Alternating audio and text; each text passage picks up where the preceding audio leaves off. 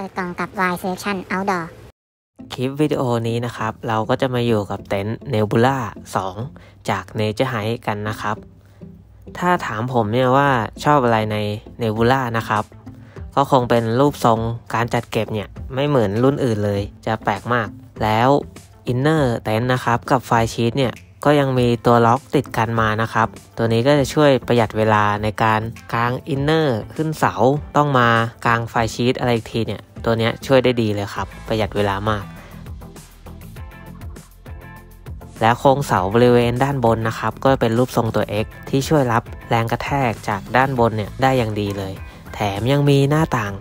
ขนาดใหญ่นะครับ ที่ช่วยระบายอากาศได้อย่างดี และไหนจะเป็นมุ้ง B3 นะครับ ที่นิยมใช้กันเพื่อกันแมลงนะครับ และสีก็สวยถูกใจมากครับ ก่อนที่จะยาวไปกว่านี้นะครับ เอาเป็นว่าเดี๋ยวเราไปดูข้อมูลกันเลยดีกว่าครับ เต็นท์เนบูล่านะครับก็จะเป็นขนาด1ถึง2 คนเท่านั้นนะครับและขนาดพับเก็บเนี่ยที่ไม่รวมเสาจะมีขนาดยาวเพียงแค่ 35เซนติเมตรนะครับและน้ำหนักก็จะอยู่ที่ 2.2 กิโลกรัมนะครับส่วนผ้าที่ใช้นะครับก็เป็น 20D ไนล่อนเคลือบซิลิโคนนะครับทั้ง inner เต็นท์และ flysheet เต็นท์นะครับคราวนี้เรามาดูของที่ให้มากันนะครับ ของที่ให้มานะครับ ก็จะมี 1 คือ mat นะครับ ตัวรองเต็นท์นะครับ 2 ก็เป็นเสาอลูมิเนียมนะครับ เกรด7001 นะครับ 3 ก็เป็นสมอบกอลูมิเนียมจำนวน 12 ตัวนะครับ และเชือกจำนวน 4 เส้นนะครับ 4 ก็จะเป็นเต็นท์หลังคานะครับ 5 ก็เป็นอินเนอร์เต็นท์และไฟชีเต็นท์นะครับและนี่ก็เป็นวิธีการกางเบื้องต้นนะครับ ที่ผมตัดสรุปให้สั้นที่สุดมาให้เพื่อนๆดูกันนะครับ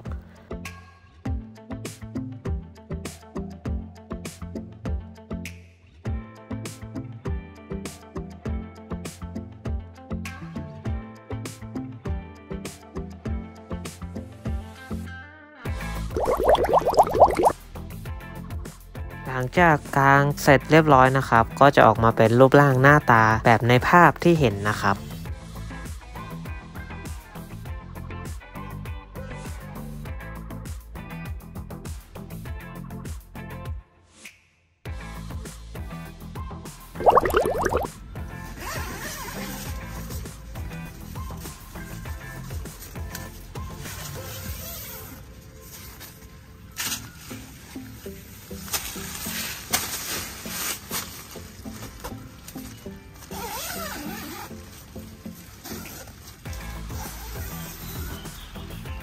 โอเคครับ อันนี้ก็เป็นข้างในของเจ้านิบูล่านะครับ ความกว้างเนี่ยจะเป็น 135 เซนนะครับ ส่วนทางด้านเท้าเนี่ยก็จะเป็น 110 เซนนะครับ ความสูงจะเป็นความกว้างเนี่ยจะไล่จะไล่ขึ้นมาก็จะมีเหมือนเดิมครับ จะมีที่แขวงตะเกียง 1 จุดนะครับ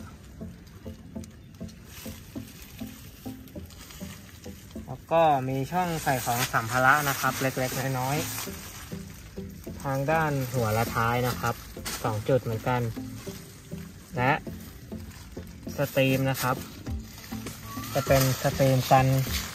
กันน้ำซึมตลอดทุกด้านมุมนะครับ จะมีทั้ง 4 มุมเลย แล้วก็ทางด้านการเย็บนะครับข้างล่างก็จะ seam ทุกที่ที่เป็นรอยปะนะครับ เพื่อไม่ให้น้ำซึมเข้ามาได้ง่าย บริเวณที่เป็นมุมเย็บ ก็จะสสตรีมกันไว้แล้ว โอเคครับเดี๋ยวผมลองนอนดูเขาบอกความยาวเนี่ยเป็น 210เซนติเมตรนะครับ ความสูงเนี่ยประมาณ 100เซนติเมตรประมาณนั้นผมลองนอนดู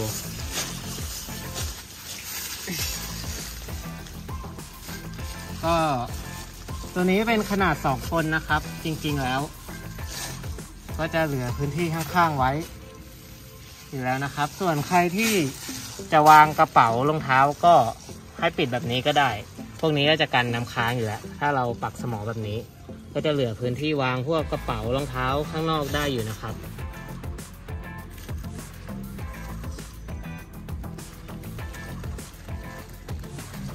โอเคครับ ด้านในก็จะประมาณนี้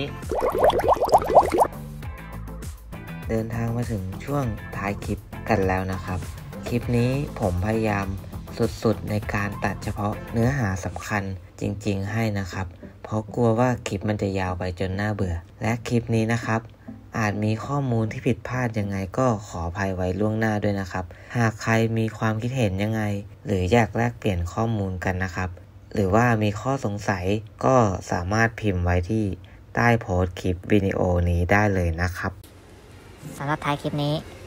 ก็คงพูดได้แค่ว่า ไม่ว่าม้าจะวิ่งเร็วแค่ไหน แต่ก็คงต้องแพ้ลา เพราะว่าวันนี้จะลากันไปก่อนครับ สวัสดีครับ